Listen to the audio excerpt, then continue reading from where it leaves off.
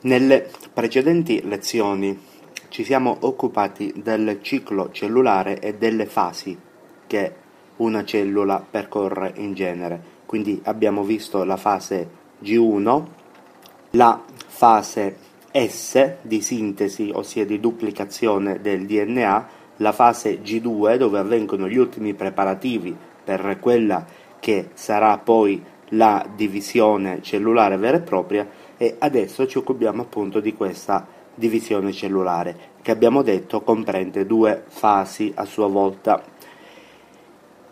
La prima fase è rappresentata dalla cosiddetta mitosi, ossia è il materiale genetico che si divide, che viene ripartito più che altro nella cellula madre e nella cellula figlia, la seconda è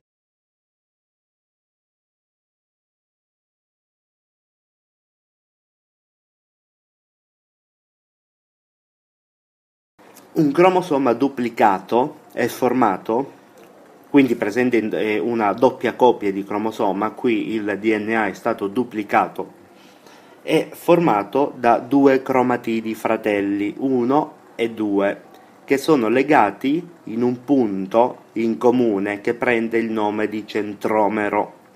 Io queste cose ve le spiego in linee generali per quello che è un corso di biologia di base, li approfondisco nei minimi dettagli invece nei corsi di biologia eh, molecolare, di biologia cellulare.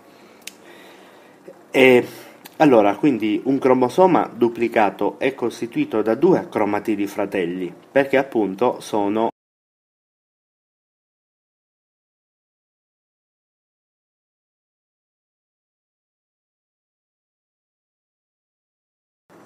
molte mie rappresentazioni schematiche, soprattutto di genetica, io vi indicherò i cromosomi in modo molto schematico, così come li vedete in questa figura.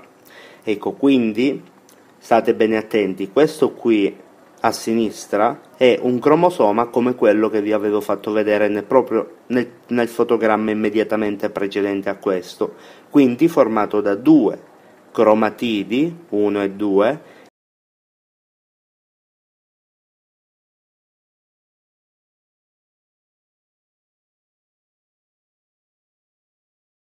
Allora, per adesso io ve le elenco e poi piano piano ne discutiamo.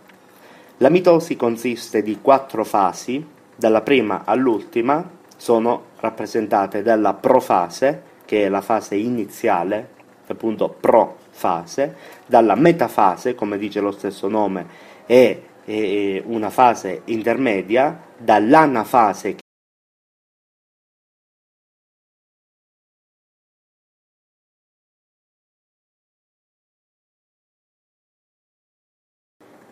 e cosa fanno? Migrano e vanno una coppia in un polo del nucleo, l'altra coppia nel polo opposto del nucleo, all'esterno della membrana nucleare. Ciò significa che non vanno all'interno del nucleo, rimangono, loro sono presenti nel citoplasma e lì rimangono, ma nel polo opposto del nucleo. Nei poli opposti del nucleo. Se questa è una cellula e questo è il nucleo, allora una coppia di centrioli pres- migrerà in questo, a livello di questo polo, quindi di, di, di, di questa estremità del nucleo,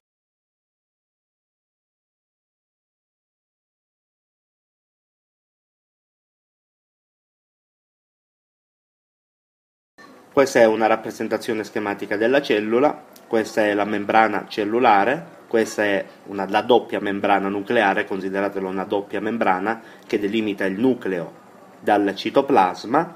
All'interno del nucleo in nero sono presenti filamenti di cromatina, la cromatina si sta addensando, si sta impacchettando il più possibile per andare a formare quelli che sono i cromosomi, che ancora però durante la profase non sono visibili al microscopio. Qui vedete le due coppie di centrioli, prima coppia di centrioli, seconda coppia di centrioli. E, e da questi centrioli si dipartono, come vedete, delle fibre che ho fatto schematizzate in rosso, che sono fibre formate da microtubuli, quindi fibre microtubulari, sono dei microtubuli che andranno poi a formare il fuso mitotico. Che cosa accade adesso, durante le prime fasi della profase, quindi della mitosi? Accade che queste coppie di centrioli si separano, come vi dicevo, una va in un polo del nucleo, l'altra nel polo opposto.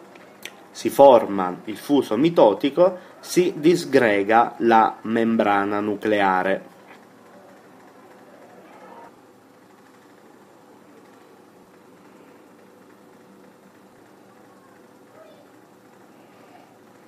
Come abbiamo visto nelle prime tappe della mitosi, quindi durante la profase, la coppia di centrioli cosa ha fatto?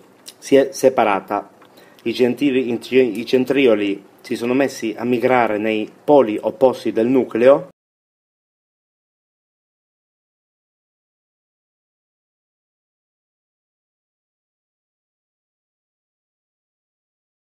E adesso vediamo questo come continuazione di quel piccolo video didattico che vi facevo vedere.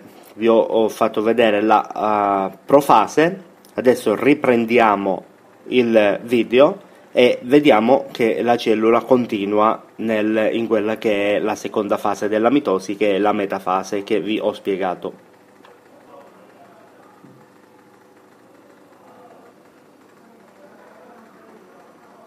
Terminata la metafase inizia l'anafase. Cosa succede durante l'anafase?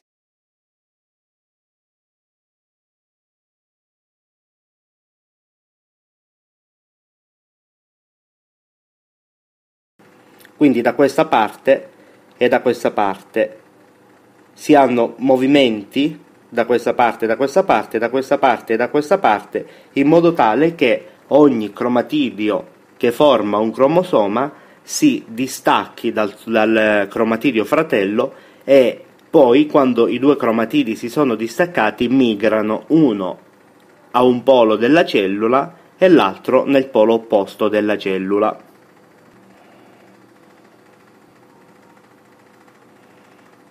Al termine della, eh, de, de, della, di, dell'anafase, dell'anafase mitotica abbiamo visto che ogni cromatidio fratello